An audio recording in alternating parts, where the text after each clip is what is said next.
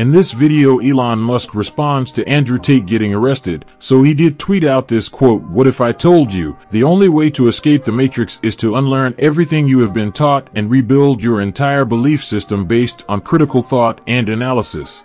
So it's good to see Elon Musk is supporting the top G. He could have even possibly banned Andrew on Twitter for this, but did not.